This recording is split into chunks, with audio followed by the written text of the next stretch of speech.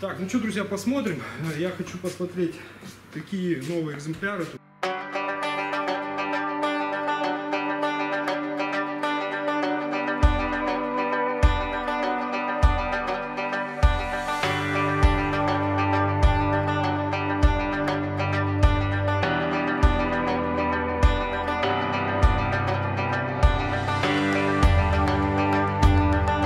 Надо его по-любому обкатывать, потому что он новый.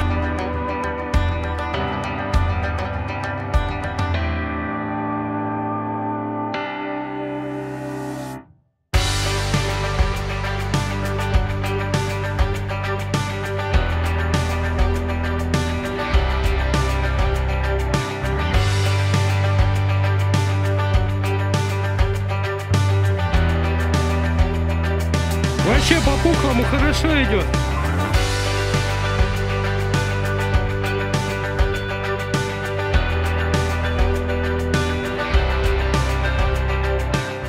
Собрались как цыгане. Короче, все взяли, все, что надо.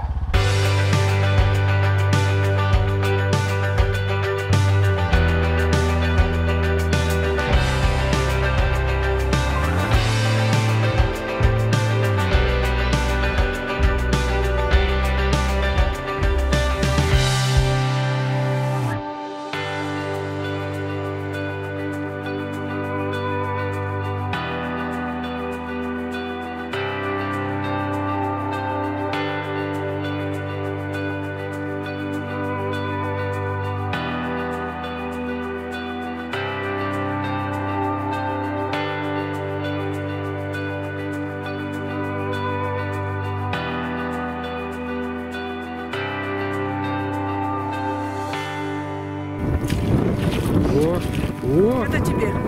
вот, это тебе, Тимоха, на жареху. Ура! Вот нафига он туда полез? Копает. Взял, полез туда, блин. Отправили поссать, он, блин, застрял.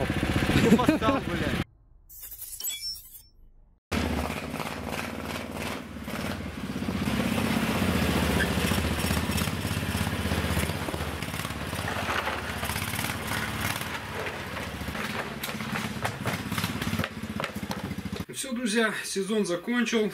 А, На этой ноте я заканчиваю свою зимнюю рыбалку. А, Проехал я на этом снегоходе Promax SRX 700 212 километров за сезон.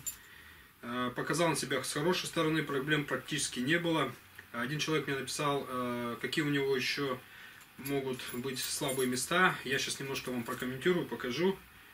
Вот, а так, аппарат офигенный, вдвоем-троем, тянет хорошо, Э, много груза за собой тянет, трое санок тянет. В прошлых видео я показывал, как мы ездили на ночную рыбалку, сколько с собой тянули шмурдяка.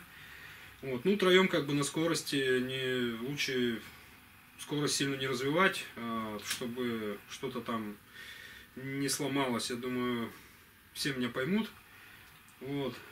А, Это как бы не прям капец такой снегоход мощный. Развивал я на нем скорость где-то максимум, наверное, 62 км в час.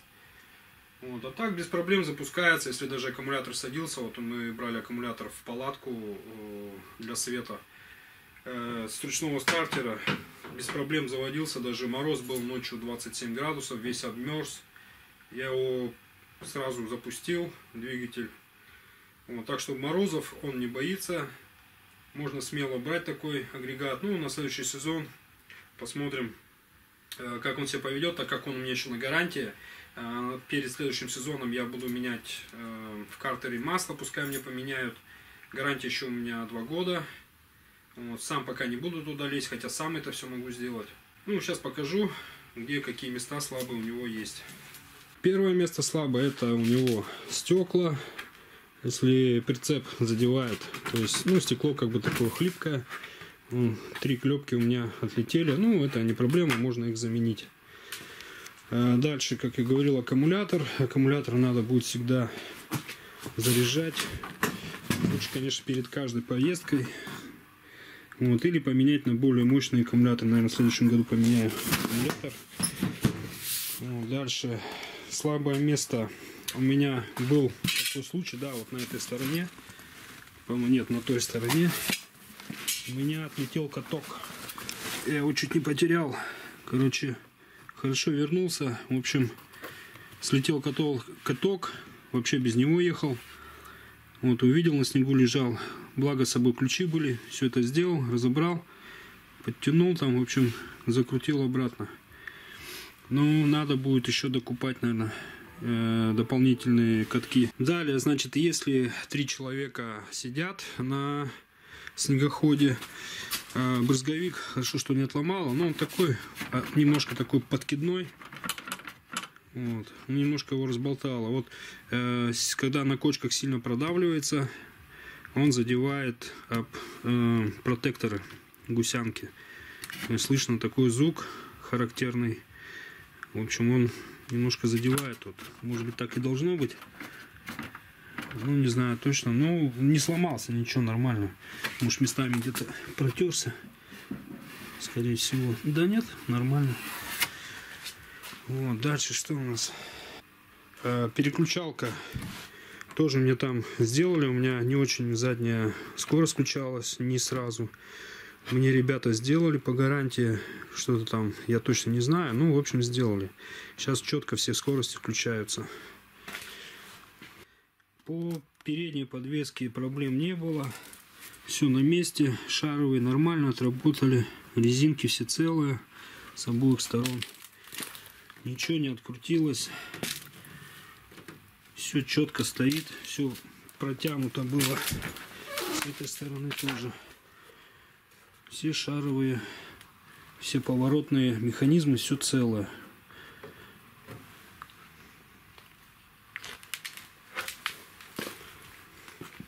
Даже визуально, когда смотришь, ну, как, как новое. Ничего не заржавело, ржавчин никаких нету. Нормальный снегоходик, мне вообще понравилось. То есть здесь тоже ржавчины нету никакой, ничего не поцарапал. Краска нигде не отлетела. Ну, есть местами краска это, наверное, там что-то тут ледобур цеплял. Немножко краска потерта. С той стороны тоже немножко потерлась. потерлась. А так нигде морозы краска не облупилась. Наклейки нигде не, не отвалились. Вот. Ну, здесь немножко краска потерлась, потому что я возил с собой э, тележки, волокуши, за счет трения отвалилась краска немножко. Ну, это не, не страшно. Ну и кофр. Немножко он прохудился, такой стал уже не особо квадратный. Немножко тут замок разошелся. Это все можно сделать. Все это поправимо. Остальные замки работают. Все работает. Хорош кофр. Вместительный мы туда сколько всего там пихали. Ну и дополню насчет пружин. Я показывал про них прошлых видео. Э, они хорошо отрабатывают, вдвоем вообще классно. Втроем немножко уже, немножко-немножко э, прям перебор. То есть ребенок сидел, 15-летний сзади. Вот, если три взрослых мужика сядет, надо вообще потихоньку ехать. А так, ну, скорость где-то была 20-25 км в час. Вот, чтобы сильно не подкидывало и более э, отработали пружины получше. Вот они. Чтобы их не разбило, лучше, конечно, не гонять на нем, когда с большим грузом едешь. Снегоход меня полностью устраивает. Собой мы тянули килограммов, наверное, 300, там кучу шмурдика, там трое саней с собой тянули, еще плюс сверху два человека, два-три человека. Э, тяга у него неплохая, э, двигатель, повторю, это Zongshin стоит. Вот, оборотистый, такой нормальный двигатель, тягучий. Э, за этот сезон вот проблем не было как бы особо. Самое главное, что мы всегда доезжали до дому, до прицепа, до машины, и в мороз, и в оттепель я ездил на нем. Ну и, друзья, у нас скоро весновка, буквально через 9 дней у нас открытие охоты на водоплавающую, поедем на водоплавающую. Также расскажу, кто не видел, э, про лодку Мишима, также брал в X-Motors, там движок 9.9, э, расточен под 15 лошадей. Марлин. Оставайтесь на канале, подписывайтесь на канал, оставляйте комментарии. Всем пока, всем счастливо, до следующих рыбалок и охот.